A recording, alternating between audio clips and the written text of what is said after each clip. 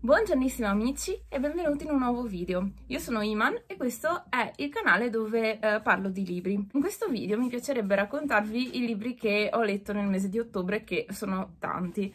L'unico problema è che essendo che sono stata eh, un paio di settimane in Italia, un po' di più anzi, molti libri di quelli letti li ho letti in Italia e li ho lasciati lì perché non avevo abbastanza spazio in valigia, barra, eh, guarda, cioè qui c'è abbastanza tutto pieno, quindi non aveva senso portarmi i libri che avevo già letto. Quindi alcuni ve li racconto così, vi metterò la copertina, però non ce li ho fisicamente da farvi vedere.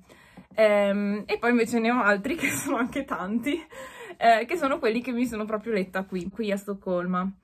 E niente, partiamo subito eh, con un libro che mi ha veramente sorpreso, di cui avevo sentito parlare abbastanza sul bookstagram inglese o americano, sto parlando dei terrestri di Murata Sayaka, eh, la stessa autrice della ragazza del convenience store, che io avevo letto, però non mi aveva fatto impazzire, cioè avevo trovato le tematiche interessanti, le tematiche eh, sociali, eh, questa critica alla società del fatto che non tutti hanno le stesse ambizioni nella vita e non tutti riescono a far parte di questo schema sociale che dopo la laurea ci si sposa, poi quando eh, ci si sposa si, ci si trova un lavoro più dignitoso, poi si fa famiglia, si fanno figli e poi si muore. E questo è lo schema che eh, l'autrice critica nelle sue opere. L'ha fatto nella ragazza del store, ma a mio avviso l'ha fatto in maniera ancora più efficace in questo ultimo suo libro I terrestri. I terrestri parla appunto di una ragazza che ehm, la seguiamo da quando è piccola, dovrebbe avere circa 12 anni se non mi sbaglio, e lei praticamente è convinta di eh, essere un extraterrestre, è convinta che il suo pupazzo eh, l'abbia ingaggiata in una missione sulla Terra per sconfiggere i malvagi e quindi mm, assistiamo insomma alle sue peripezie anche se in realtà nonostante Nonostante dalla quarta di copertina sembrerebbe un libro super divertente, super leggero, non è per niente così. Infatti io mi aspettavo di uh, fare una lettura veramente leggera, divertente, invece assolutamente no. Nonostante questa, questa bambina sia convinta di, essere, di, avere dei poteri magici e di venire dallo spazio, eh, le succedono delle cose veramente brutte, eh, ci sono delle scene veramente strazianti e, ehm, e, quindi sì, ho detto e anche stavolta eh, un, un libro leggero lo leggiamo la prossima volta ci troviamo in questo, in questo lasso di tempo in cui eh, lei ha 12 anni. Poi la narrazione riprende quando lei ne ha 35, più o meno 34-35, in cui è sposata e, e lei è tuttora convinta di essere un'aliena e suo marito fomenta questa cosa e anche suo marito è un po', un po', particolare diciamo, un po' tanto e anche lì succedono cose assurde, eh, ci sono liti con i genitori perché eh, non hanno figli lei non ha figli con suo marito, ma in realtà è solo un matrimonio tipo di copertura perché nessuno dei due vuole rispettare le norme della società, nessuno dei due vuole far parte della fabbrica, perché lei appunto definisce il paese dove è nata una fabbrica, dove praticamente ci sono dei rettangoli che lei chiama rettangoli, ma in realtà sono case dove i genitori educano i bambini ad essere a loro volta degli ingranaggi della fabbrica. E lei proprio si vede che lei inizialmente è molto combattuta di non riuscire a far parte di questa fabbrica, però dopo si abitua perché alla fine lei è un'aliena, quindi per lei non è così importante far parte della fabbrica. Il marito invece che pensa di non essere un alieno, lui è proprio contro eh, il, il, meccanismo della fabbrica, del, del diventare un ingranaggio della fabbrica. Insomma, succedono delle scene allucinanti. È un libro che fa ridere, però è anche spaventoso. Cioè, non, non so descrivere questo libro. Mm, è un libro fuori di testa, però non è fuori di testa fine a se stesso, perché ti fa pensare, ti fa riflettere su diversi argomenti che eh, a mio avviso sono molto importanti, cioè a cui io penso spesso, soprattutto in questa parte della vita in cui ho quasi 30 anni e non so cosa fare della mia vita. Eh, cercherò di essere breve per i, prossimi, per i prossimi libri, è che questo qua ci tenevo particolarmente a raccontarvelo. Un altro libro che ho letto e che ho trovato interessante è La famiglia di Pasquale Duarte, edito eh, Utopia di Camillo José, non, non so come si pronuncia, Sela, è praticamente, um, cioè io l'ho comprato un po' a caso perché si chiamava La famiglia di Pasquale Duarte, quindi ho detto vabbè è una saga familiare, top, mi piace. Invece no, um, non è una saga familiare di quelle tipo che uno pensa. Eh, è la storia di questo Pasquale Duarte che è un contadino eh, poverissimo, figlio di eh, un contadino alcolizzato, insomma ha una vita veramente brutta fino a quando è piccolo, gli succedono cose brutte, assiste a ingiustizie, assiste a violenze e lui a sua volta, quando diventa più grande, compirà de dei delitti, dei crimini eh, anche gravi perché um, lui nella sua testa vuole eh, fare giustizia e vuole mm, ribellarsi come a una specie di destino già scritto e infatti cioè, praticamente gli succede di tutto di più. Eh, però Mm, il lettore, cioè ovvero io, cioè non riesco a vederlo cattivo, nonostante lui abbia fatto delle cose gravissime, abbia ucciso delle persone in maniera veramente brutale, è difficile anche vederlo come carnefice e mm, il, lo scrittore gioca proprio su questa ambivalenza, no? Che nonostante lui compia de, de, degli atti crudeli, noi sappiamo tutto quello che gli è capitato e quindi lo vedi sia vittima sia, sia carnefice, però non... Cioè, è molto un romanzo che gioca sul concetto di giusto e sbagliato mi è piaciuto, nel senso mi sono strappati i capelli, però è un libro veramente bello, è una lettura che secondo me va fatta anche perché è un classico della lettura spagnola del Novecento, di cui io non so assolutamente niente. E quindi niente, sono contenta di aver fatto questa lettura. E tanto è un libro molto breve, avrà 150 pagine, così, quindi si legge.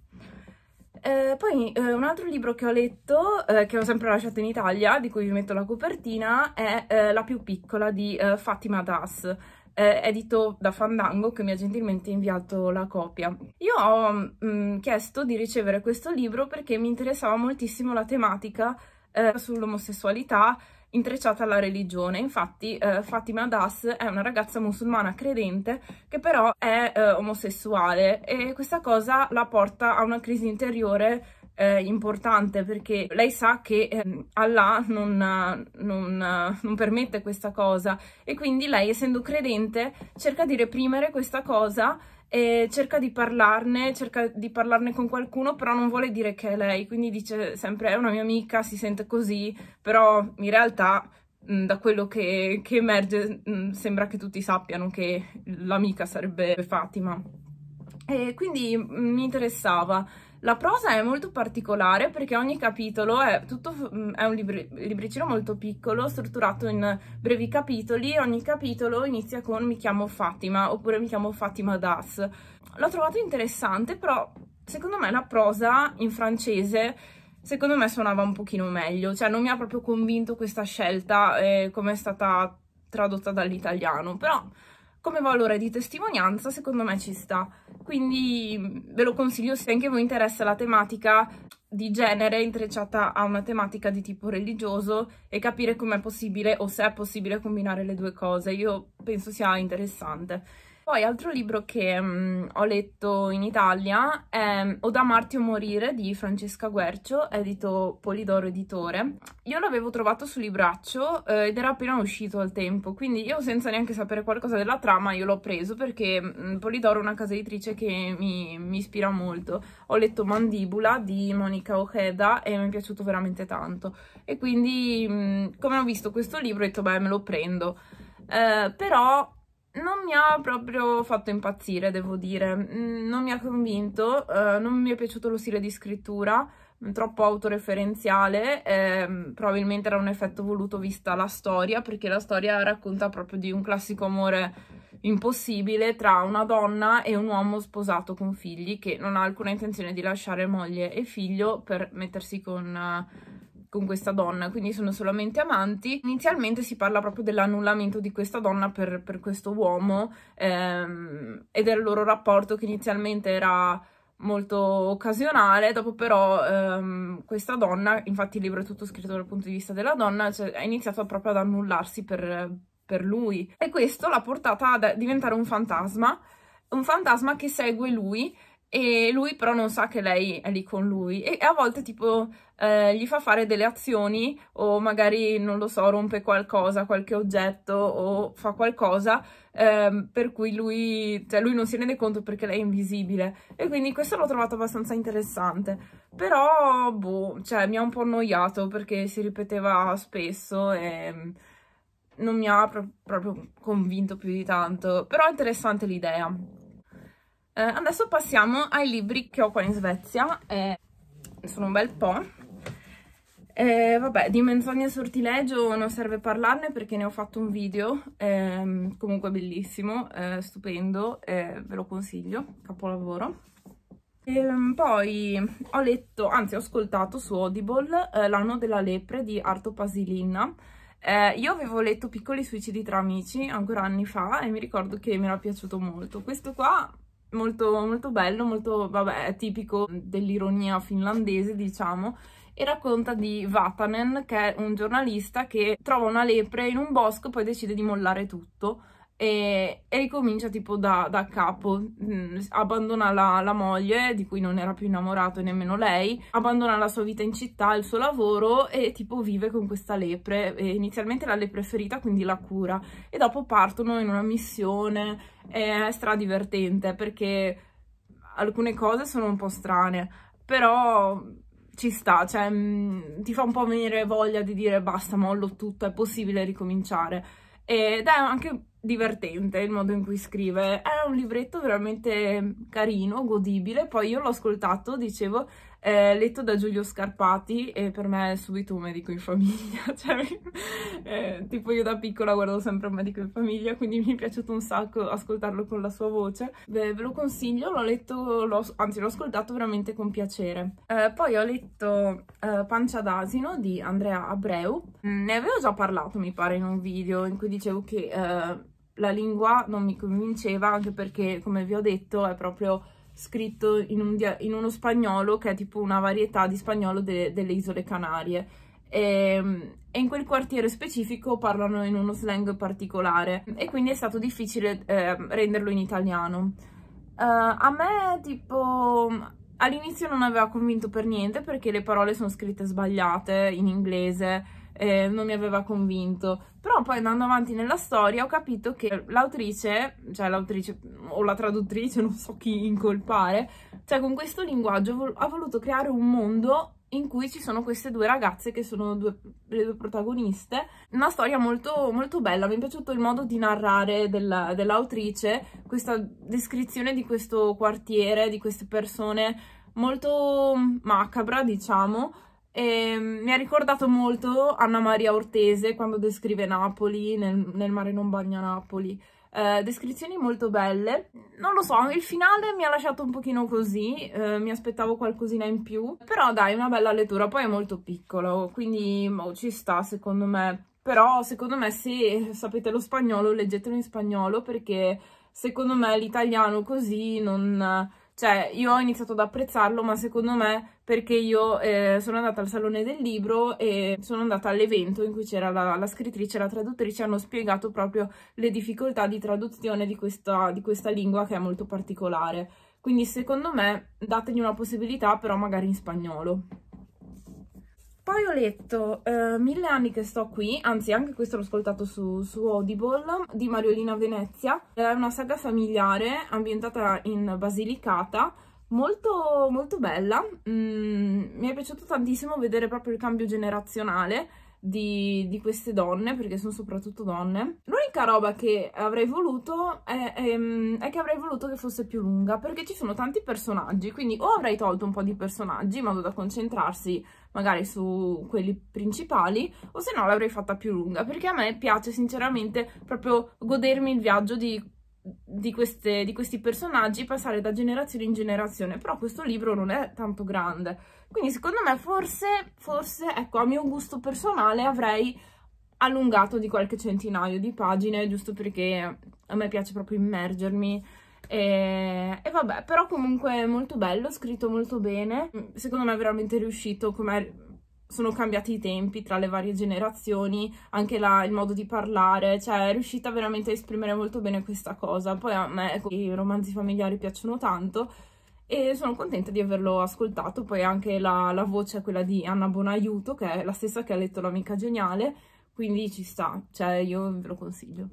Poi altro libro letto L'anomalia di Hervé Letellier, um, candidato al premio Strega Europeo, questo qui l'ho preso al salone, sono andata a sentire l'evento. Questo libro io l'avevo già adocchiato perché mi interessava particolarmente, ne avevo sentito parlare molto bene. Devo dire che è proprio magnetico, ti cattura perché vuoi, vuoi sapere come va a finire. Quindi secondo me è proprio un romanzo perfetto da leggere, per esempio d'estate, tranquilli, in vacanza, sotto l'ombrellone, quando hai tutto il tempo per dedicarti e non è che lo devi chiudere perché hai cose da fare, tipo. Lo, lo vedo così. ehm, inizialmente nei primi capitoli ti racconta i vari personaggi che tu non capisci tanto da che cosa sono accomunati, leggi storie di persone e dici boh ok quindi e poi arriva il quindi. Praticamente a marzo atterra un volo aereo dopo una turbolenza e ehm, alla fine però tutto, tutto finisce bene atterra questo aereo. Però a giugno atterra lo stesso identico aereo con lo stesso personale di bordo e gli stessi passeggeri però è come se loro fossero rimasti a marzo. Quindi ci sono praticamente dei doppioni, delle persone che sono doppie e un aereo che si è praticamente clonato però è rimasto indietro nel tempo di qualche mese. Molto interessante, molto intrigante e poi non vi voglio svelare di più perché forse vi ho già detto troppo. Poi c'è scritto, eh, c'è scritto nel, nella quarta di copertina, non è che eh, vi ho fatto spoiler, però secondo me meno ne sapete e più ve lo godete questo, questo romanzo.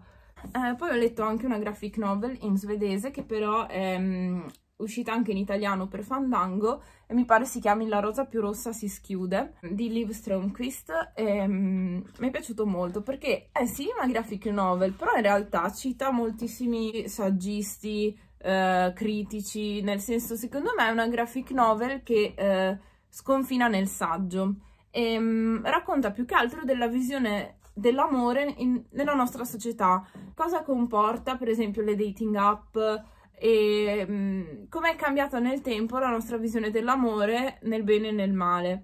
E, super, super interessante. Eh, l'ho letto, letto, veramente con molto piacere, poi mi piace molto dentro. Mi piace quando tipo le graphic novel sono scritte che sembrano scritte tipo con la penna, non quando sono scritte tipo al computer con lo, il font tutto, tutto uguale. Non so se avete capito cosa intendo però l'ho trovato carino.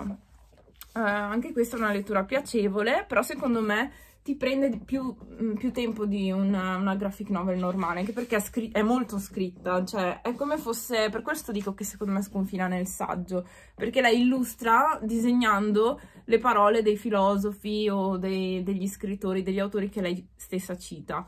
Um, poi eh, l'ultimo libro, che è anche quello che mi è piaciuto di più insieme a Menzogna e Sortileggio, è eh, Il corpo elettrico di Jennifer Guerra che mi ha inviato la casa editrice Tlon. Io di Jennifer Guerra ho letto anche Il capitale amoroso e mi è piaciuto tantissimo, proprio un libro che mi ha veramente aperto un mondo e mh, mm, anche questo non è stato da meno, eh, mi è piaciuto veramente tanto, il corpo elettrico mh, mm, parla inizialmente dell'autocoscienza del corpo della donna e poi eh, affronta diversi argomenti, per esempio le donne in politica, il concetto di personale che è anche politico e su questo tema io avevo letto anche Ripartire dal desiderio, mm, è un tema che mi, mi interessa molto parla dell'inclusione delle donne transgender e non binary nel, um, nel concetto appunto di donna e che dire, mi è piaciuto veramente tanto perché lei ha un modo di scrivere che proprio a parte che è molto immediato, non sono tipo dei saggi in cui non ci si capisce niente.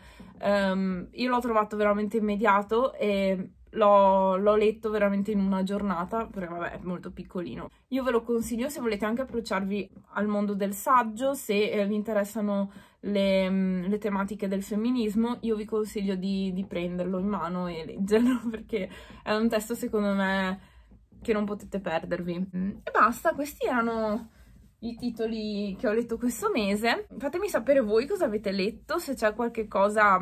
Um, tra questi libri che avete letto anche voi. Eh, vi ricordo che potete seguirmi su Instagram, che sono anche attiva giornalmente, diciamo, e potete vedere tutte le recensioni che faccio e um, i vari libri che, che, leggo. Vi metto qua sotto i link affiliati ad Amazon e se, li, se comprate qualche libro di quelli che vi ho consigliato io ricevo una piccola commissione sul vostro acquisto. Vi auguro una buona giornata e ci vediamo al prossimo video. Ciao!